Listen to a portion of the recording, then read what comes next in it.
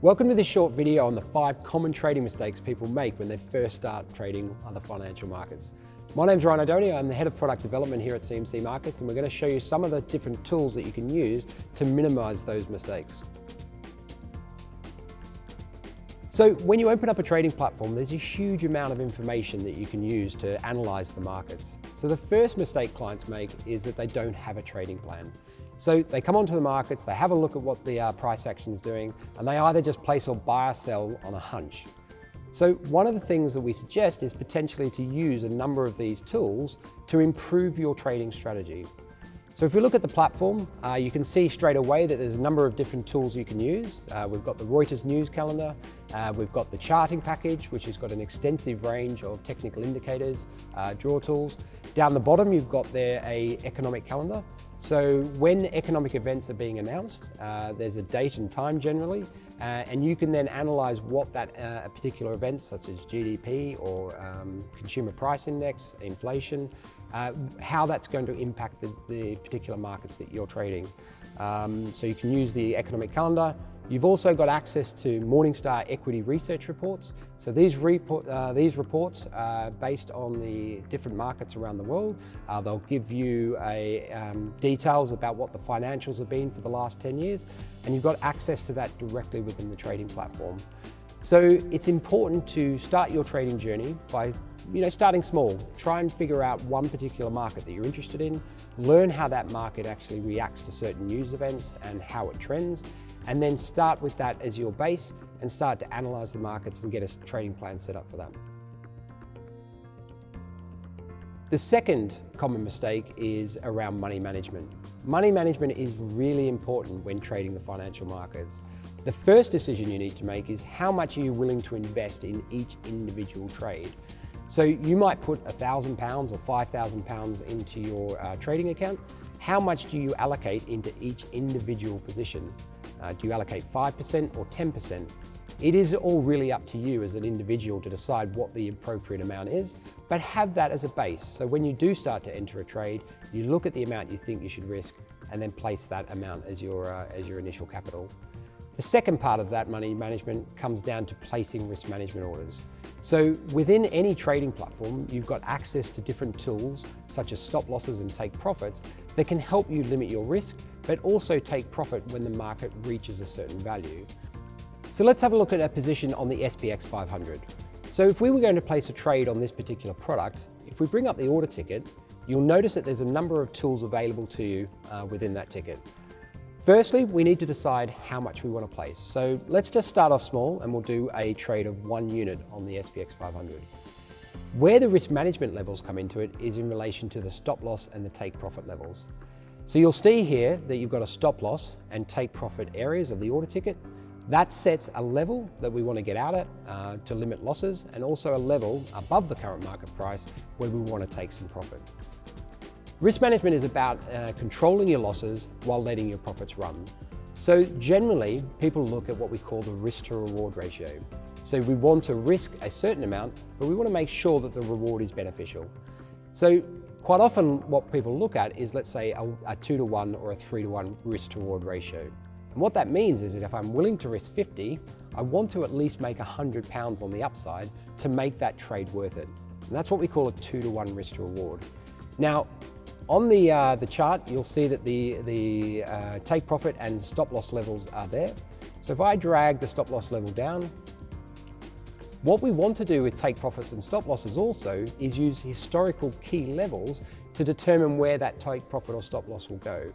Because what we're suggesting is that if we put a level uh, or a stop loss below, has the market reached that before? If it has, then potentially it might reach it again. So we might want to place the stop loss just below. Um, with the take profit, the same thing applies. If we actually start to see um, that we've got a resistance level here, the market's reached this level before, um, we might want to put the take profit level just below that so that we've got a, a higher percentage chance of that being executed.